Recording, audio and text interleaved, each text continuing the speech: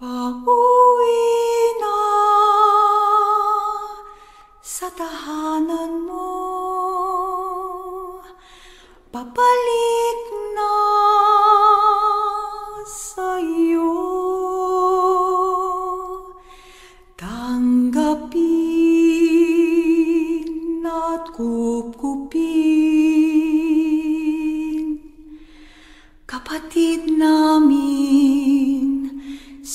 iompi